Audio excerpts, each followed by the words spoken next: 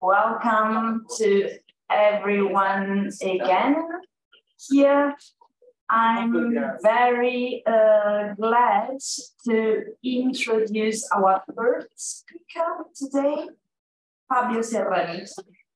He's a lecturer in ancient Greek literature and culture at the University of Leeds, specializes in ancient Greek philosophy and thought, with particular emphasis in topics such as love, madness, and sanity, care and neglect, way of life, and the good life. His PhD was awarded in 2015 by Nova University of Lisbon with a dissertation on the concept of madness and lucidity in Plato's Phaedrus. His most recent publications include Mania and Aletheia in Plato's Phaedrus, published in 2020, and Misunderstanding Epimeleia Aretheschia for Virtue in Plato's Euthydemus uh, which was published uh, by Springer in 2021. Uh, the title of his talk today is Philosophy as a Way of Life as a Matter of Life and Death, an Aristotelian take on a current debate.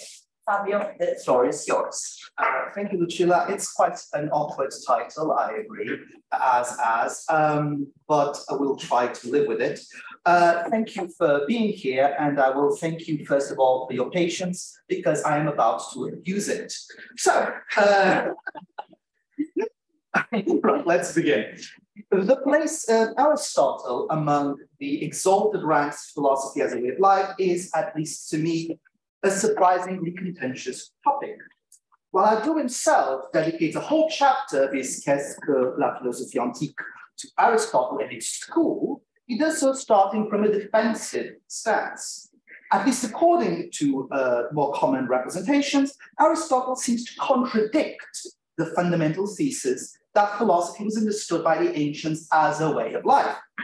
What rescues Aristotle from being banished from uh, this exalted ranks uh, as a mere producer of philosophical discourses is the way in which he, according to um, in which, sorry, according to Hadot, the philosophical activity engages in is integrated within his overall conception of the different ways of life.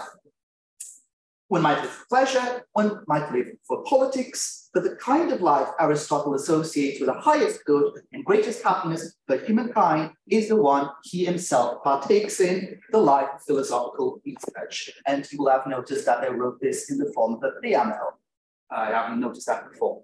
Uh, the life of philosophical research, what Hadot designates as the selon l'esprit, Rather, therefore, the inclusion of Aristotle in this tradition is connected with the conception of the ideal way of life as understood within the Aristotelian version of the traditional Greek trope of the three ways of life, the three bioi, the life of pleasure, the life of politics, and the philosophical life.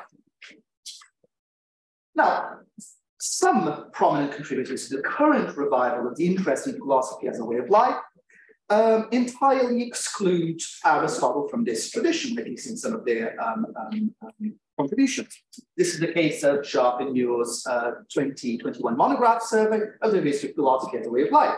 And so according uh, um, uh, to Charpentier, um, Aristotle proposes, and I'm quoting, a solely discursive conception of philosophy and a wholly theoretical conception of Sophia. This justifies its absence from the author's synoptical account of philosophy as a way of life since it belongs to a different strand of the philosophical tradition, a strand that engages predominantly, to use Hadot's terminology, in philosophical discourse. In their brief mention of Aristotle, um, they refer to John Sellars' 2017 article, What is Philosophy as a Way of Life? And in this article, Sellars contrasts two different conceptions of philosophy, the scientific and the mystic.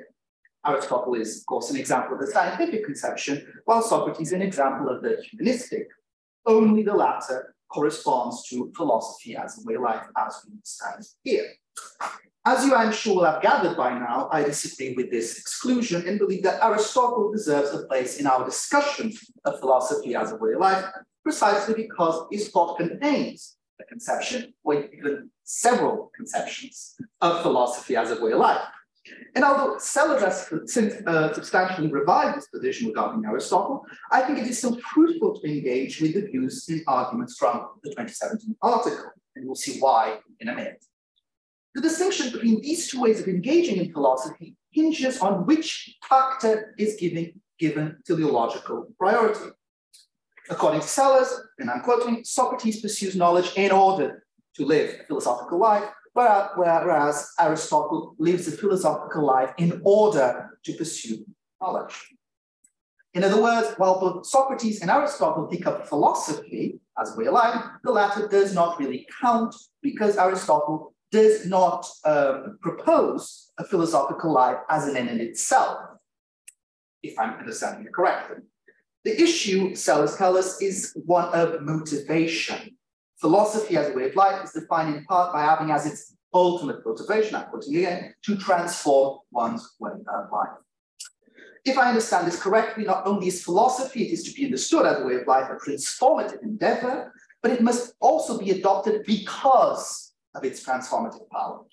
One takes up philosophy to change one's life. I have some problems with this.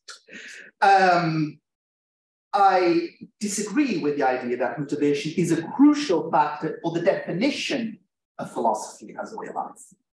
And I disagree even more with the notion that transforming one's life can be that definition.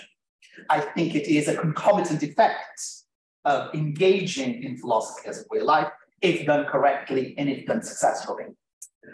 Um, in fact, I would argue, and this is the provocative part, that the notion of transformation as motivation contradicts the very nature of philosophy as a process of discovery cognitive enrichment, since it suggests that either the subject is indifferent to the content of that transformation, so what am I transforming myself into, or that at the outset, at the moment of adoption and throughout the whole engagement with philosophy, the subject is fully aware of where the process of transformation will lead them, thereby eliminating the possibility of surprise, of something different. And so when first embarking on a philosophical way of life, I either do not really care into what my life is going to be transformed, or else I already believe I know what that transformation entails, meaning that I know even before I start what the philosophical way of life is and what the results will be. In both cases, there is, ironically, a collapse of the meaning of philosophy as a lived experience, as a process of discovery through which I overcome my cognitive limitations and thereby become a different kind of person. That's what philosophy does. However, the question of motivation is still one I believe is worth engaging with. It draws attention to the fact that the philosophical way of life is neither a given nor a spontaneous acquisition. No one of their own accord and left to their own devices adopts a philosophical way of life. Philosophy needs a beginning, needs a trigger, it needs to be chosen or adopted.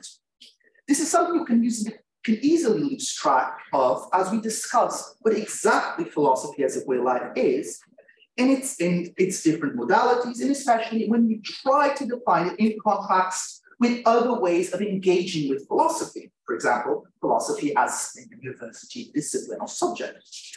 The question of motivation can instead invite us to think about philosophy as a way of life in contrast with other possible ways of life, and or, if there is such a thing, the spontaneous and unsorted flow of experiences that would constitute a life lived at random. The question is not whether I ought to study philosophy as academic discipline or as an alternative, adopt it as a way of life. Rather, the question is whether or not I should live philosophically, whatever shape that philosophical life might take, open, or adopt another way of life, or no way of life at all.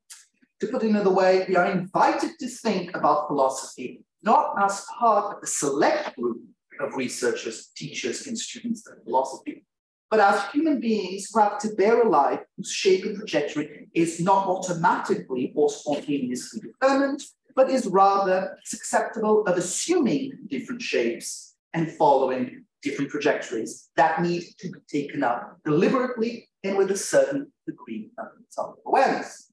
In short, why adopt philosophy as a way of life rather than anything else whatsoever? Right. I believe that this question can be answered perhaps going against the grain by following Hadot's advice and re-examining the opinion that Aristotle's conception of knowledge bears no, no relation to the way of life of the Noah in the context of his representation of ways of life. Um, for Hadot, the way of life Aristotle proposes is a vice à la sagesse. Perfect theoria is beyond the ability of humankind, and so the way of life accessible to humans is one of approximation of pursuit of wisdom, in that sense, a philosophical life, with the element of distance from the aspired to goal that the, the prefix philo often um, implies. But even if unattainable in its perfect and complete form, Theoria provides the model of philosophical engagement. What we aspire to and we live towards is the kind of pure contemplation that, uh, of truth that Aristotle describes in Metaphysics and elsewhere. Now, I'm not going to engage with this particular model. And indeed, I'm going to look at a source that probably, although it's uncertain and it requires some more investigation, provides a slightly different model of the outcome of you know, the perfect, um, uh, happy, uh, and good life. And so what I'm going to do for the rest of my time here is to look at this issue from a different angle, taking as my main source the ugly sister of Aristotle's great treatises on philosophy of human affairs, the Eudemian Ethics. And I do this because the Eudemian Ethics not only contains some re relevant pronouncements about the multiplicity of ways of life human beings may adopt and the potential reasons for their adoption, but also at least in one specific passage, they are integrated into a discussion about what makes life worth living.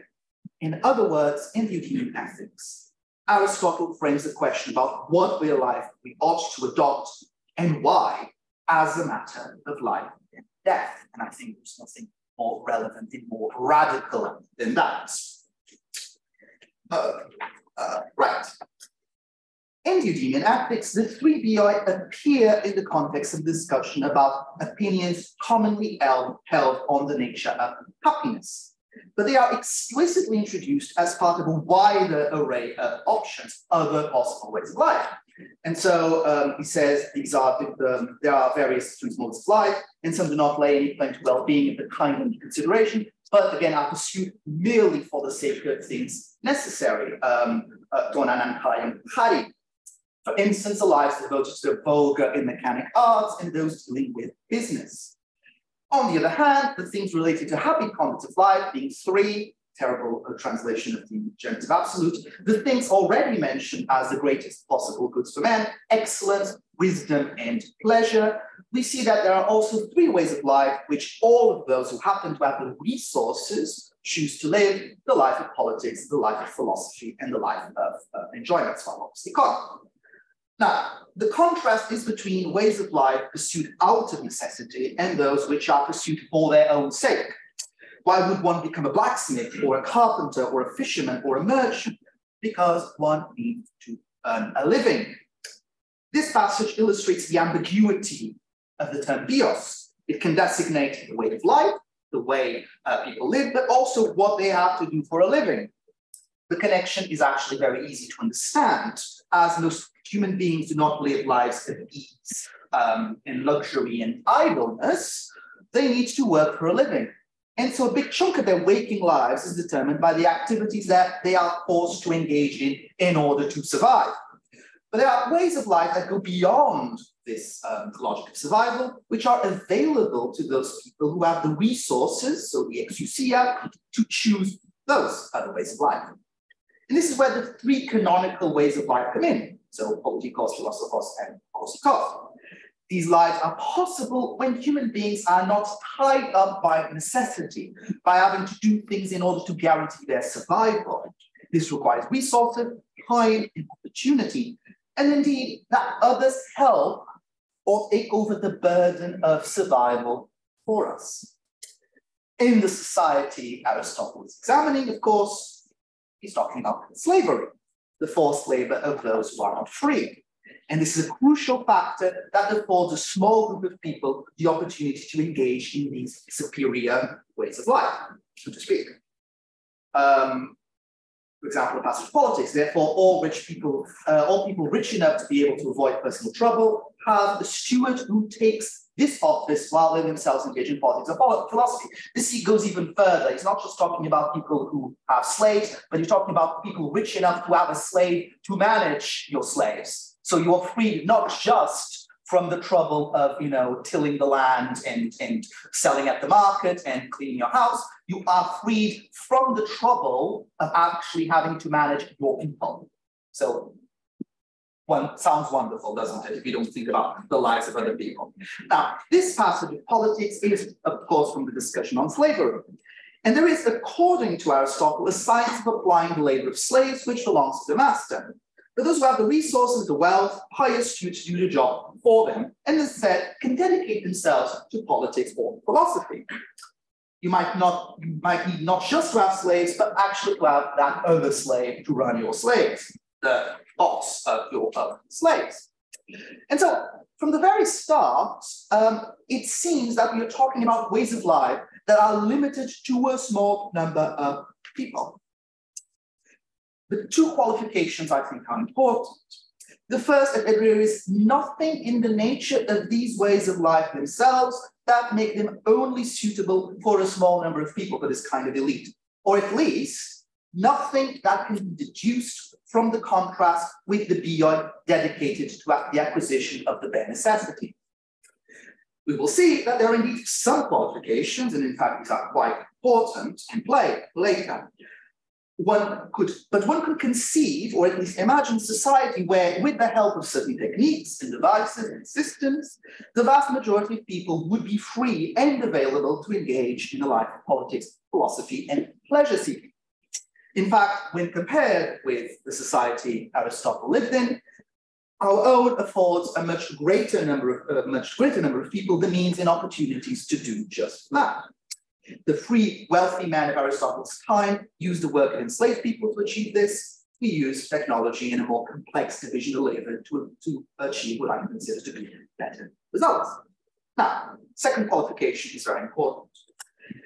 Is that even if only a small number of people have the means and opportunity to adopt these ways of life. They are still the ways of life any person with the requisite qualifications would choose if they had the chance.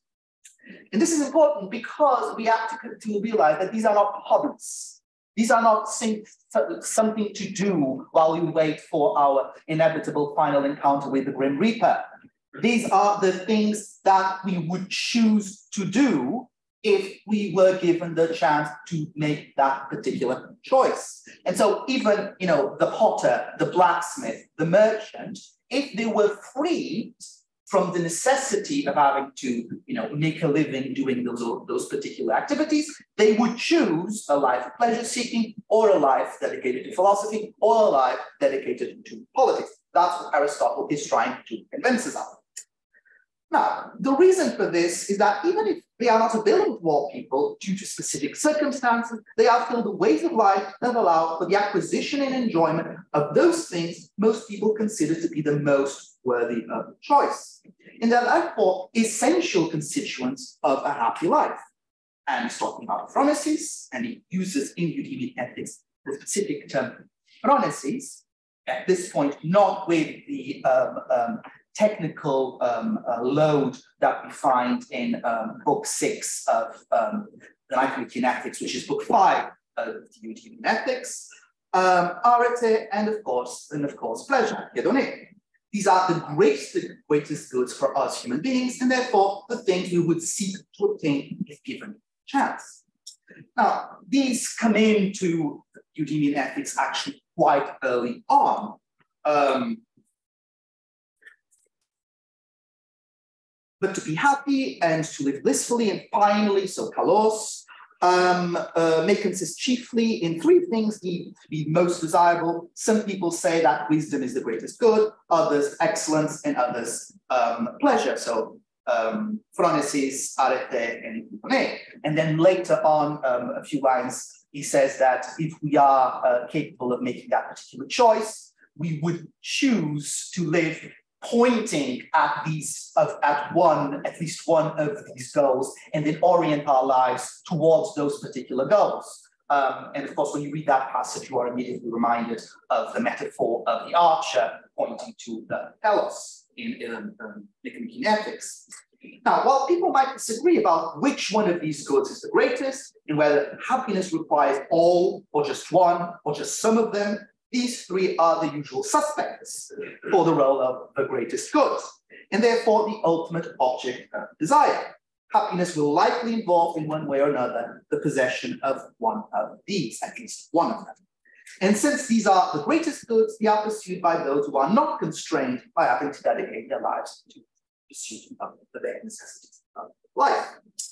Now, Aristotle gives us some more hints about what these three ways of life are about, and this would be item four.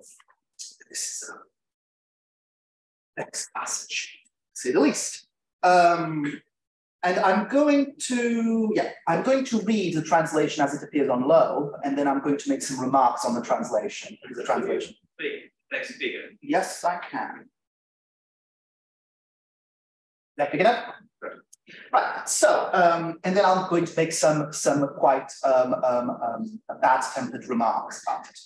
Uh, so, of these, the philosophical life denotes being concerned with the contemplation of truth. Political life means being occupied with honorable activities, and these are the activities that spring from excellence.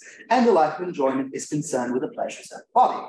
Now, you will have noticed, if you look at the Greek teuton god of philosophers, bulletai te phronesin enai, kantian theorian, then periten alethean. Um, right, um, you will notice that in the translation, there's no mention of anything remotely uh, equivalent to phronesin. So the translator entirely skips the mention of phronesin. He focuses exclusively on the aspect of theoria. And again, it's a very complicated, it's a very complicated um, phrase.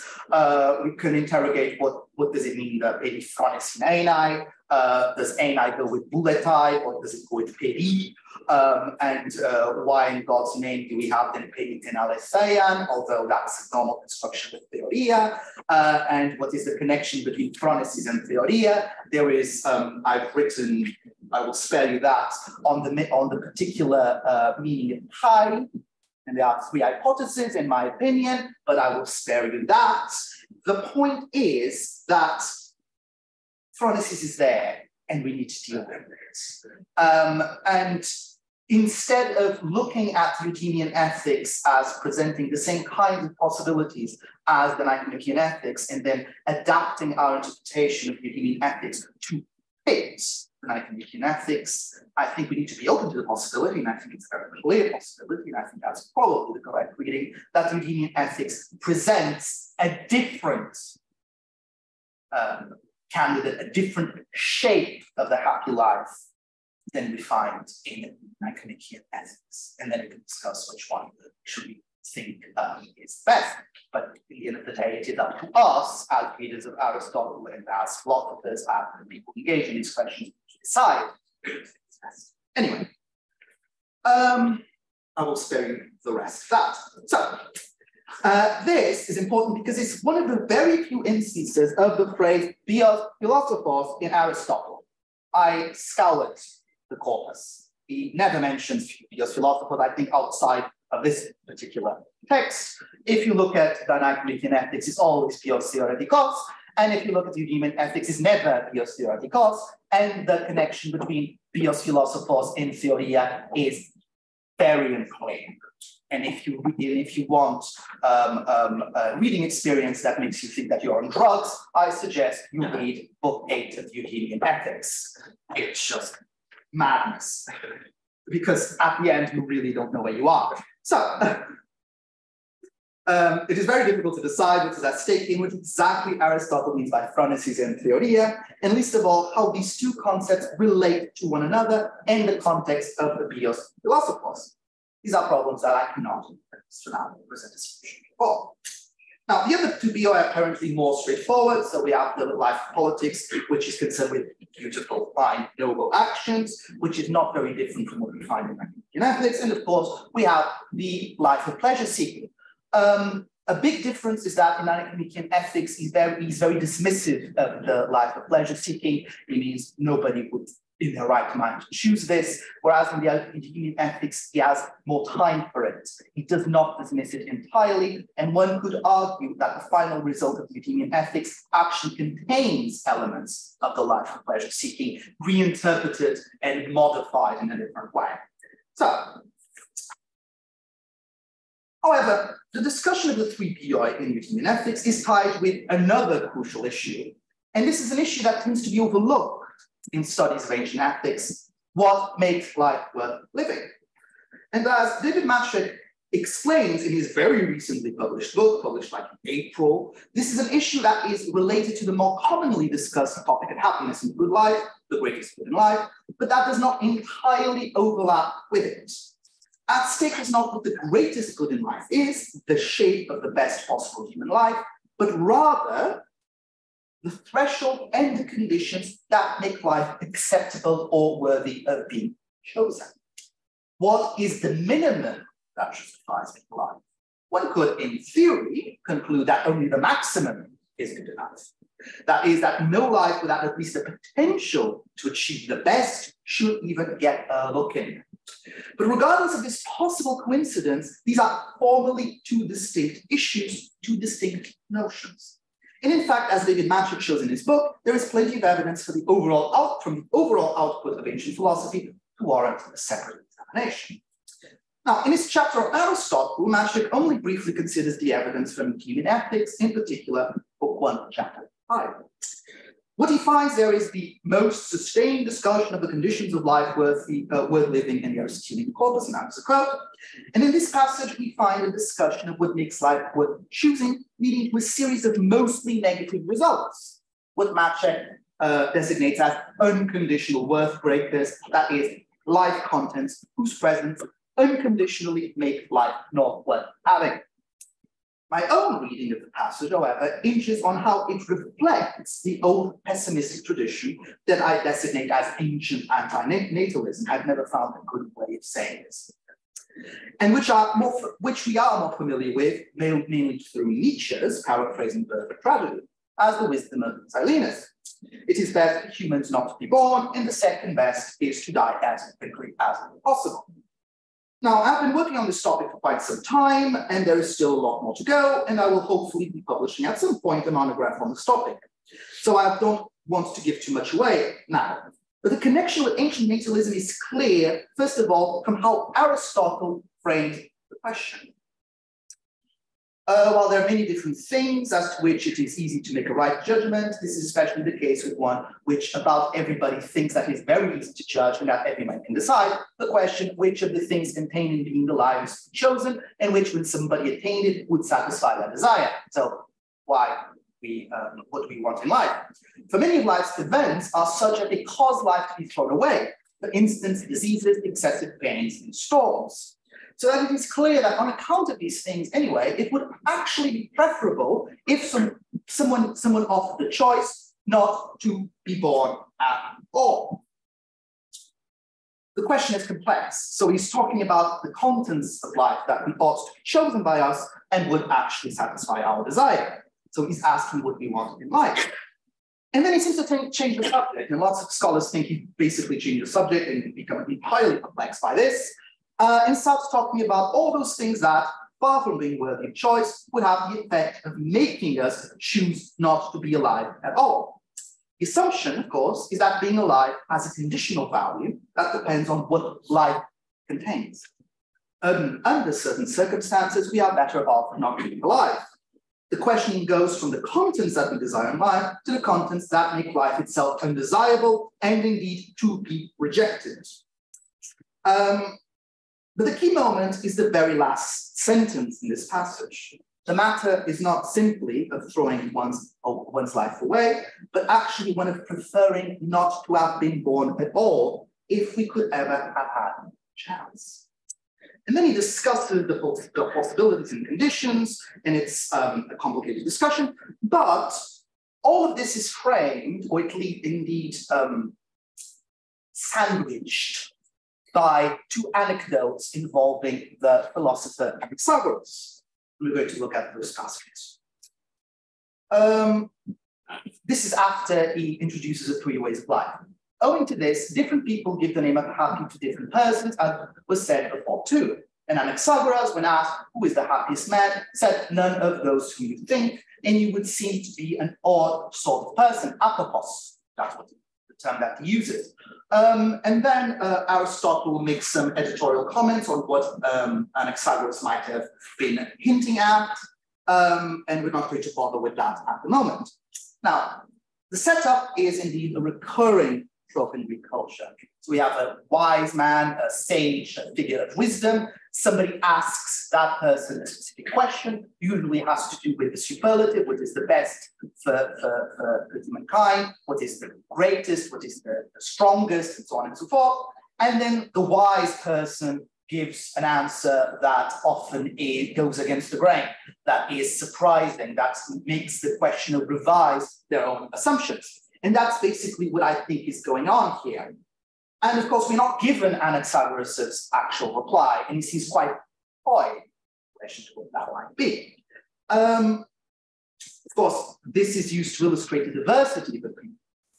Um, but I think um, we should look at second appearance of Anaxagoras.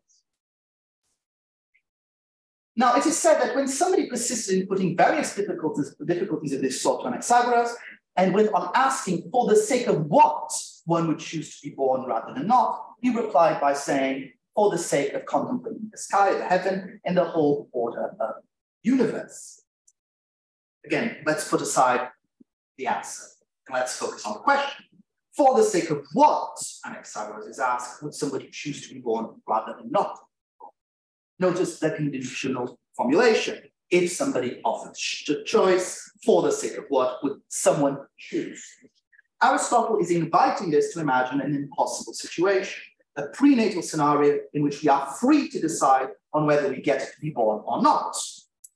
My reading of the passage is that he's engaging in a thought experiment, which takes as its basic assumption the qualified version of the antinatalist thesis. Considering that prima facie, life is not worth choosing, if there are any, is there any life content, any possibility that could justify choosing to be born instead of not being? In other words, is there anything in life that could overcome the all canceling or annihilating proposition that we ought, that we would all be better off not having been born at all? This, I think, has to be read together with the first Anaxagoras anecdote. And I think it makes sense to think of two Anaxagoras anecdotes as, in fact, being two parts of one extended anecdote, with the discussion in the middle standing for the imagined philosophical back and forth between Anaxagoras and the anonymous questioner. It is a riddle of the superlative with a dialectical discussion. If we take the two anecdotes together, then we can see that the second question is in fact a reformulation of the first. It goes from who is the happiest person to for the sake of what would one choose to be born rather than not being born. A transition like this only makes sense if it is assumed that anything short of happiness would make life worthy. And one would not choose to be born for anything other than best. best. Anything less than that. Now, what happens between these two questions is a reframing of the question for the maximum or the superlative within a discussion that we normally understand as one about minimums. What is enough to make life worth living? And of course, modern scholars, again, become quite perplexed by this particular question. For example, Woods seems to become genuinely confused. What could the bare minimum have to do with making oh, uh, the good? Sorry, what could the bare minimum to make life livable have to do with the search for the good and the, the best life? I think this misses the point. But we should not dismiss the perplexity, because these are indeed two different questions. But it is clear, nevertheless, that Aristotle brings the two questions together in this part of the ethics. The two questions are virtually merged. What allows for this merger is the assumption of the anti-natalist stance as an hermeneutic. Um, then I I'm, I'm probably going to skip this bit. Um, I tried to explain how the formula in uh, the anecdote for Anaxagoras actually uh, maps to the formula of the um, uh, in uh, the story told in the fragment of Aristotle about the capture of Silenus by uh, King Midas. There was a moment of hesitation, and then the answer is given. But the answer, of course, is completely different because one of the answer, the answer for Silenus, um, uh, the answer by Silenus just closes debate. So anti-natalism basically says there's no more to discuss. And because this is the answer, there is nothing in life that will make life, life worth living. Whereas, as used by Aristotle, it's the beginning of a discussion because it is assumed conditionally, not as the final word on anything else.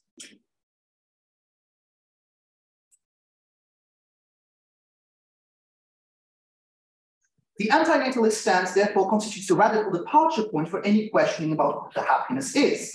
The question is no longer what is the best thing in life, or if we take happiness to be an activity, what is the best use I can make of the time I have been given?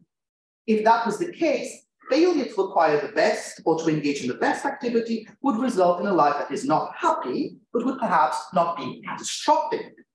As many of us have to make do with mediocre lives and even with unhappy lives. But once the question is reframed from the point of view of the antinatalist stance, failure to achieve happiness becomes catastrophic. The question is, since life is not worth living without X, what is X? And if X is happiness, whatever that might be, then a life without happiness is a life that ought not to be desired, accepted, or endured. It becomes a matter of life. Now, it will not surprise you that um, um, I'm going to skip this because for a matter of time, um, there was a, um, the, the analysis is not really a positive analysis in the sense that we don't get positive results unless we try to extract them. So the results are always negative. So um, he excludes the possibility of, of, being born to live like a child or to uh, live a life that experiences neither pleasure nor pain, and so on and so forth. And so what we have to do through the analysis is to get to a kind of um, sketch of what that kind of life ought to be. And I've actually you know, done the work for that. And I found four particular factors. And those are one, that um, the thing for the sake of which we would choose to be born rather not be born must, one, be an end in itself. Two, be sustained, be uh, sustainable for an extended period of time. Three, be in conformity with the normative conception of human nature. So basically, be uh, an adult Greek non-enslaved male, uh, because the, the idea of scala naturae, and indeed the idea of males, free males, free Greek males being superior from, to uh, everybody else because they are the perfect example of, of the actualization of the potentialities that are, that are incumbent in uh, human nature um, is assumed throughout this whole analysis. Um, and four, it has to involve pleasure in some capacity, although pleasure is always problematic in Aristotle. Of course, it will not surprise you that the possibilities that emerge from this experiment are none other than the three ways of life that I've mentioned before. And although in the anecdote Anaxagoras is committed to Bios Philosophos, and indeed a version of Bios Philosophos, and involves very specifically the contemplation of the heaven, all that, Aristotle himself leaves open the possibility that any of the other two might correspond to happiness. Bios Apolaustikos, once again, is problematic. But unlike the Nicomachean ethics, it is not dismissed out of hand as a possible candidate. Bios Politikos is the object of further clarification, which is, goes more or less um, similar terms as Nicomachean ethics, more or less. Um, and of course, um, um, all of them remain standing at the end of this particular bit of ethics. Now, you will no doubt remember that I started this by now long discourse by engaging with um, um, Sellars' 2017 articles on the particular topic of motivation. So while I reject the idea that motivation should be seen as a crucial factor for defining philosophy as a way of life, it is nonetheless important to understand why such a way of life ought to be adopted. since it is not innate or spontaneous. The thought experiment we find in Eudemian ethics goes some way to clarify what that motivation could be. The bios philosophos is not merely a way of life one may or may not adopt, because it is happiness itself, or at the very least, one of the candidates to being happiness itself. Why then should why then should we choose to live philosophically? Because we want to be happy. And if we accept, and this is a big if, that only happiness is enough to justify our being alive, then we must live philosophically or else accept uh, that we have no valid reason to live at all. And of course, this leads us to the famous passage of Protrepticus. So one must either do philosophy or say goodbye to life, uh, goodbye to living, and go away from here, since everything else at least seems in a way to be lots of trash and nonsense. For our current discussion, such a stance is particularly problematic because while the prenatal standpoint allows us to consider the different life possibilities untethered from the constraints of actual life, as, um, uh, they are not untethered from Aristotle's normative conceptions about human nature and its proper task. The consequence, of course, is that both happiness and what makes life worth living might be default, by default, unreachable for the vast majority of human beings. All those that do not happen to be adult, male, Greek, and non-enslaved. And perhaps, for that matter, constrained by having to attend to the bare necessities of life. And if we take this without qualification, then as far as I can tell, not a single person in this room and indeed watching this via Zoom would be capable of achieving um, what makes life worth living. We would all be condemned to living worthless and meaningless lives, while at the same time desiring and yearning for those very things that would make our lives worth, uh, worthful and meaningful. And since those very things are by our own constitution out of our reach, it is not like I can become a Greek all of a sudden. Um, we would be condemned to live uh, to, to lives of unredeemable frustration. Silenus would have been wise indeed. Now, my reading of Eudemian ethics passage does not go as far for a number of reasons. First of all, I believe anti-natalism is just a kind of hermeneutic stance, um, part of his methodology at this point. In fact, it is hard to see how uh, the antinatalist in action, uh, um, how it goes into the rest of Eudemian ethics outside this particular context, although of course this warrants further investigation.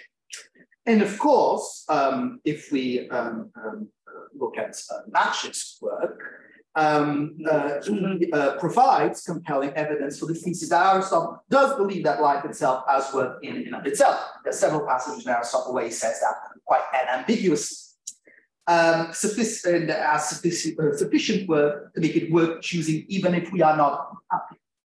Secondly, within the narrow scope of this experiment, no decision is made regarding which of the three lives is more worthy of choice. So at the end of the thought experiment, the life of pleasure in the political life still stand as potential alternatives to the philosophical life. So in the end, we still have a multiplicity of possibilities. And indeed, if we have these three possibilities, we might come up with a fourth or a fifth we should not believe that Aristotle has a monopoly in philosophical imagination, I mean, the Greeks. So how do we choose between the candidates? The question about the connection between the thought experiment and the rest of the ethical discussion in Eudemian ethics is left open. Does the bios politikos correspond to life of virtue as understood in the rest of um, the book? Does bios philosophos correspond to life dedicated to theoria in particular, some of the modalities of philosophy? And what, if any, is the connection between theoria and arete? Eudemian ethics provides us some tantalizing clues about this, but of course I'm not going to talk about it because I want you to do the same. But even if we accept that bios philosophos consists only in theoria, then theoria is presented as something essential, something crucial, something we could not live without. Although ultimately it seems that Aristotle leaves behind the radical approach I've been talking about, it at least shows that such a perspective is conceivable, and it invites us to perhaps rethink the role theory might play in our discussions about philosophy and life. Perhaps it's not so much a matter of seeing how philosophy can fit into our lives and help us live happier and fuller lives. Perhaps philosophy is the only possible or valid or even livable life, or at least one of the narrow, uh, the narrow field of candidates for that. And if that is the case, everything else should be subordinate to it in help, or at least not hinder its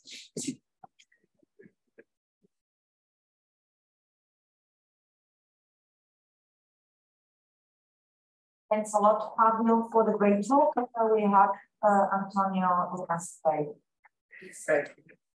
Thank you so much for your presentation. I've um, read uh, a proto-archive version of this paper. I have some some some comments on it. First, on, on phronesis, it, it is true that Aristotle, even in the Nicomachean Ethics, doesn't apply the, the, the, the, the word as a, a terminus technicus all, all, all over. Um, but uh, this, yeah. So um, maybe wisdom is a very, very wrong translation yeah. because, you know, maybe from aphrosyne, phronesis, sophrosyne, maybe dimension or amentia or something mm -hmm. like mm-hmm. this has to do mindful, having in mind, uh, waking up, mm -hmm. whatever, but wisdom not. Yeah. So, but my my my my problem with this this with the solution of the universal and, and equivocal um, answering for the theoretical uh, life as resolving the equation of uh, happiness mm. is that um, Aristotle himself in the Corpus Aristotelicum is is uh, very ambiguous about it. Even somebody like Sir David Ross yeah. says that uh, there's a practical motivation even in the metaphysics. Yeah. It is to eromenon. So it is praxis that uh, founds or uh, grounds the very first sentence of the metaphysics. So if somebody as unsuspicious as Sir David Ross, not Heidegger, Sir David Ross says that um, we need to, to read it um, into it as very, very cautious. But the problem for me is how can we read eudaimonia, unhappiness, uh, a concept that is so broad, and he says it is energia, it is energia tis psyches kataretentelaya. Yeah. And it is not something that you can uh, can reduce simply to pleasure. Of course, it is very sexy, and I want it. I want it. Of course, I want it. It is an energia, and it comes from the psyche. So it, it, it isn't grounded in a world content, it is not innovative. So it is something that uh, it's going on with me, comes from me. Uh, I want it. Uh, what it is, I don't know. Maybe it is what he says, uh, it is chicane era. It is yeah. to find what one loves. Maybe it is sexy, as a population. So it is not hypertrophia. No. So it is not Ariston, it is not Tokaliston, it is not a superlative. It is something that has to do with love or, or anything like this formulation. So my, my, my, my question is either theoria uh, is something that I find in diagoge kairas, like phronesis in the metaphysics so that what's going on there is a trance. It is something that I'm, I'm, I'm, I'm getting high and it's so good to be there. And I, it's difficult to explain that. Um, or uh, it's not intellectual, mm. it's not participated in congresses, it's not being publishing books, although it's, it can be sexy. Um, and even if it is so, it's it is grounded in practical wisdom, and it, it has with pleasure. So my, my answer is, if it is so, theoria is praxis. That reminds me of a passage in politics. I can't remember exactly where it is, but there's a passage in politics where he's, where he's discussing the um, opposition between uh, theoria and praxis. And he says something that even in theoria, there's a praxis because you need to, you know, move the different parts soul. There is activity there. And so the opposition between a theory and a praxis is probably an, oppos an opposition that is not as radical as we tend to do, especially if we associate praxis with, you know, the kind of life of the, of um, uh, practical uh, uh, uh, virtues, for example, in Nicomachean ethics. Um, and yes, I agree that Aristotle is incredibly ambiguous and he seems to be all over the place. And it doesn't really surprise me because it's a very, very complicated issue. Um, and we have to realize that no matter how he might at some, at some point describe the life of Theoria as that kind of otherworldly, divine kind of life, it is, has to be rooted in our actual life as a human being. And although we might talk about in, in um, of Nicomachean ethics of the divine within us, of that divine nature within us, and therefore it's the divine nature that we should live uh, in conformity with, the fact is we still, you know, have to put our trousers on one leg at a time. We need to have our little meals. We need to drink water. We need to live a life. And all the moments that might lead to theoria are lived here in this rooted embodied life. I must confess that every time that I read descriptions of what a life of theoria might be on Plato, Aristotle, or elsewhere, my impression is that I don't think they know what they're talking about. I have no reason to believe that Aristotle or Plato ever had a moment of theoria as it is described, say, in Symposium or, um, uh, or uh, in Book 10 and Nicomachean Ethics. I think they might be extrapolating dialectically from what it ought to be. I'm not sure there was an actual experience there. I disagree with you. Hmm? I disagree with you. You think they have that experience? I'm in Pakistan. They are getting high. Okay. but we have a John Yeah, and thank you very much. That was really, really rich and really interesting. Um, so, as you alluded to, um, I kind of revisited this question of, of Aristotle more recently, and some of you may have heard me talk about it, and a couple of you have, have, have read it as well. Um, and ironically, I kind of think this is less a question about how to interpret Aristotle and more a question about how to interpret Hadot, right? Yeah. The question isn't what's going on in Aristotle, although it's rich and complex and there's lots for us to argue about. It's more, how do we want to understand philosophy as a way of life, mm-hmm. right? Uh, and, and that seems to be the issue. So, for instance, at the end of this paper I wrote on Aristotle, um, my kind of conclusion was, well, there are certain places where Hadot says that philosophy's way of life is fundamentally a practice. Mm-hmm. It's that contrast between a practice or an activity versus a mere discourse. And if that's how we're defining philosophy's way of life, then Aristotle fits, right? Aristotle's talking about thought as a practice, as an activity, right? Being as activity, right? So if that's what philosophy's way of life is, Aristotle fits, that's fine.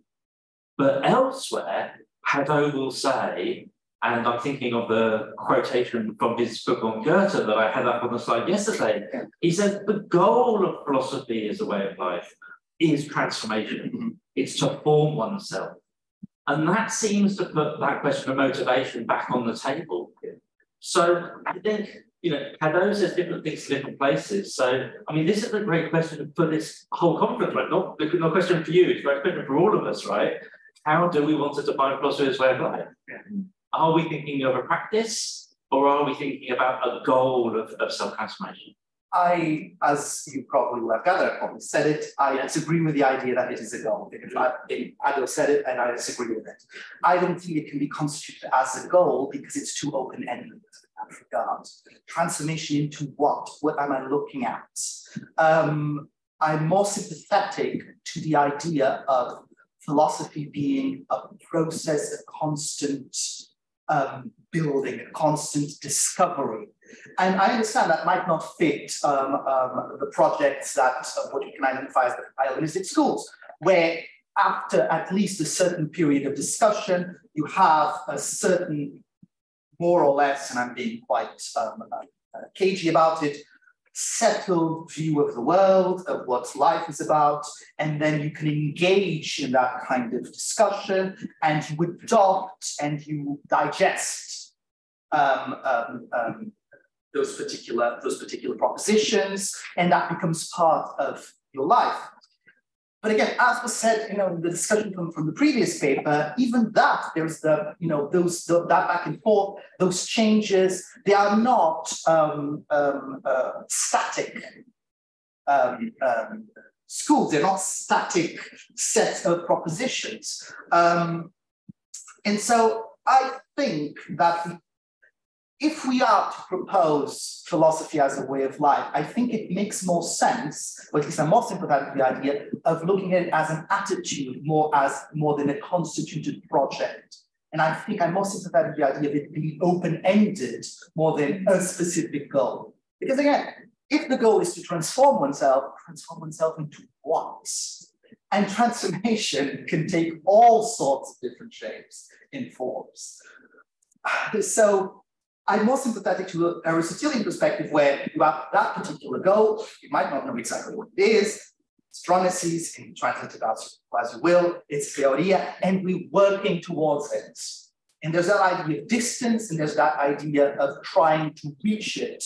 And that then becomes the lodestar of your life. And all the contents in all the actions in all the choices of your life are then reformed by that. That's, I think, makes, and that would be a, and that would be a philosophical way of life, if indeed, you know, the objective is wisdom or knowledge or truth or whatever. Bartholomew?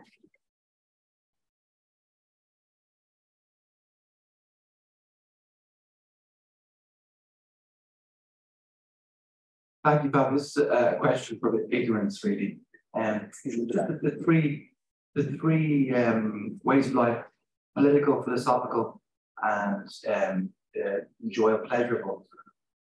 Doesn't seem to be much multiplicity for me. Uh, is, is there any mention of, of being an artist as a, as a way of life, or being a hermit, priest, aesthetic as a way of life, or even a designer, architect as a way of life? So why does he? And they're all for me extremely transformative experiences. The, the idea of the transformation and is, is literally it's kind of overcoming uh, cutting through. You know, but so why does it just those three? And does he ever talk about?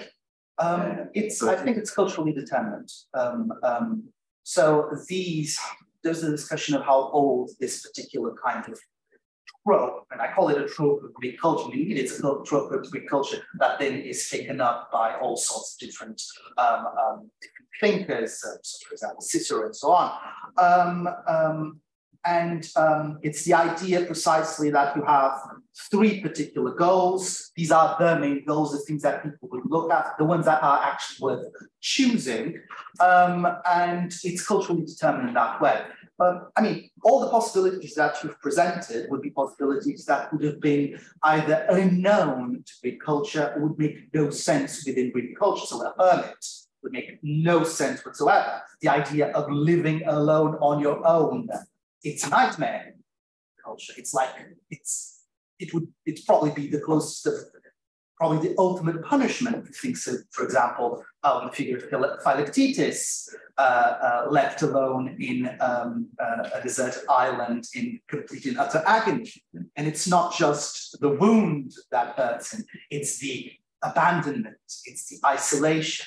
Um, if you think about, you know, those kinds of creative uh, endeavors, I mean, if you're working with your hands, uh, I don't think Aristotle has much uh, consideration for a person like that.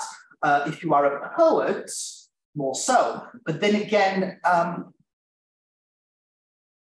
would they consider that as a kind of way of life in this way? Um, they would probably think that if you are a poet, you either are somehow in search of wisdom, and um, you are a kind of spokesperson of the kind of divine wisdom that is imparted to you as a kind of in your relationship with the muses, or they will think of you as somebody that, whose objective in life is to acquire fame in the admiration of others, or indeed you take it as a kind of profession, as a kind of entryway into a life of luxury and uh, um, um, um, acquisition. Example, if you become the pet of a tyrant in the archaic era. So there is not a lot of space for other kinds of ways of life in the way Aristotle, Aristotle and other uh, ancient thinkers put, put it. But of course, when we engage in this sort of, of, of discussion, we could or we can understand other ways of life. And we can try to figure out the internal logic and the kind of system of, of ends and means that are part of those other possible ways of life. So we can ex exercise our own creative imagination in the context of ancient culture. Again, most of those possibilities that are presented would have been entirely alien to that because it's a different paradigm. It's a different paradigm. Thanks a lot, uh, Marta. Thanks so much. That was uh, really interesting. Uh, I have a comment and a, a question. The comment on uh, motivation. Thank you for bringing that uh, up. I agree with you, and I think that the, idea of motivation is a crucial aspect in the characterization of of life is a problematic uh, factor, and I have a um, ongoing discussion with uh, with John, uh, because this think uh, it is really important, both in this article you quoted and also in this chapter on Aristotle, motivation plays a important role in, in this. Um, I find it problematic first because you can never know actually what is the motivation of the author. That's my main, my first argument. In the end, you cannot know with which motivation the author wrote or not. And secondly, perhaps most importantly, I think it is pretty irrelevant for the transformative effect it has or not on the reader. Ultimately, if it affects transformatively or not, uh, it's nothing to do with the intention of the author, I think. Mm-hmm. Because the author, I, I might be reading Marcus Aurelius and be totally untouched by it and, and might not change at all my life, or I can be a teacher of Stoicism and teach that all the doctrines, everything, know by heart meditations and be exactly as I was. And then I can, I can be the philosopher who had no intention to change my life and I'm just deeply affected and I see things otherwise. So this was common. Uh, the question was related to choice, which is somehow connected. I wonder how to which extent we really choose philosophy? Um, and that's perhaps connected with the with Hélder's presentation and with the discussion that was brought about by it. Uh, uh, philosophy is somehow the consequence of having our previous world somehow destroyed or in ruin of our system of beliefs breaking somehow. And that's something that happens to us, isn't it? Nobody chooses that thing destroy one's world to start anew. So I don't think there is a, a neutral situation where we justify uh, that we want to have a philosophical life and not some other. In some way, we are compelled to choose it. And I'm not saying names, but the person who's present here, in one of my first lectures in this place,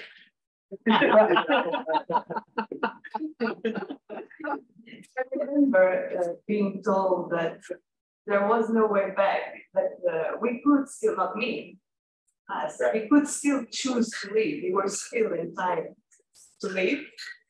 Um, as we were warned, uh, be careful, there is no way back.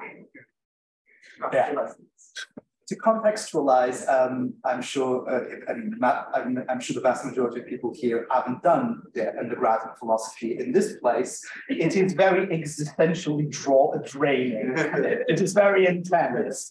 It is very intense. Um, so I could say that uh, a lot of people, which shall remain nameless because they are present here, make the point that philosophy is not simply a matter of discourse, but is something that has to touch you. And again, this is something that, if you took it seriously, stays with you probably for the rest of your life.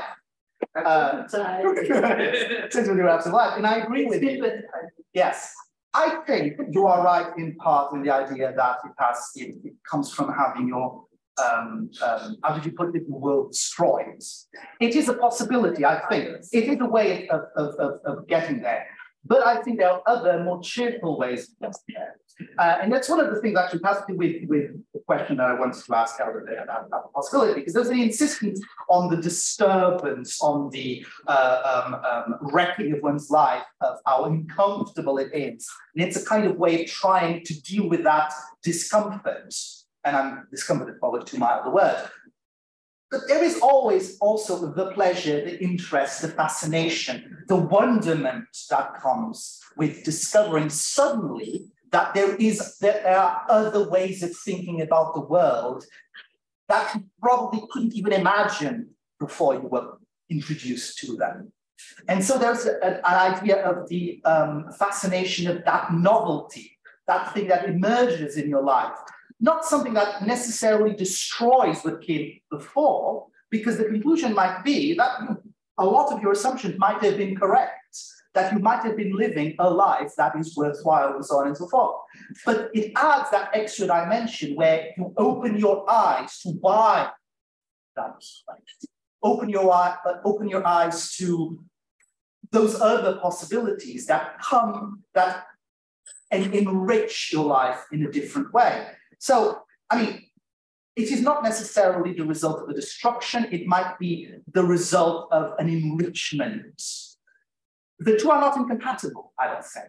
And both of them might happen at different moments, and they might, you know, cross fertilize.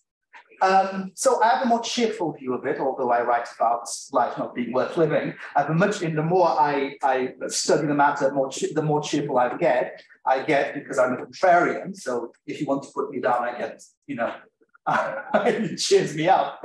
Um, and so I'm not, I don't think it's necessarily that. But if it's a choice, probably not in the way you're thinking.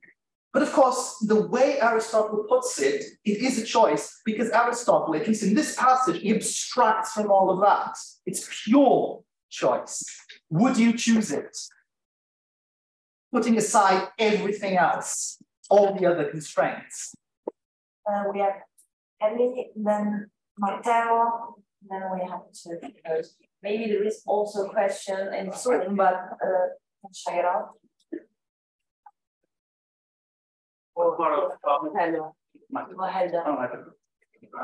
Uh, so I'll, I'll be very quick. Yeah. It's an observation on these kind of building comments. Oh. Um, I can be this loud too. Yeah. Uh, I wonder, I sometimes think that we circle around uh, other kinds of philo classical philosophical issues in philosophy as a way of life. Like, what do we mean by choice? What do we mean about intentionality? What do we mean by authorial intent? And Hadot, like the rest of us, struggles with these issues as they're not easy ones. Like the, the only one I was thinking about just to that last point you made is thinking about Hadot at other times talks about the conversion experience to philosophy happening first and the justification coming after. Yeah. In a you know very William James sort of at least reminds me of a William James friendly sort of interpretation. That Pompeo has found some interesting connection there. But I, I thought the point you brought out there is interesting on the one. I think there's a difference between saying, how do you say it? We can choose a way of life without justifying it. Maybe two different things, how we justify the choice and choosing the choice. And then I think that kind of begs the question we really have to ask what does cognitive choice versus existential choice versus determined choice begin and end? And these are really hard questions. And philosophers, the, the choice of philosophy doesn't escape the problems that we kind of circle around in other aspects of philosophical thinking. So it's not an answer, but I think you've actually brought up a bigger issue. Mm-hmm.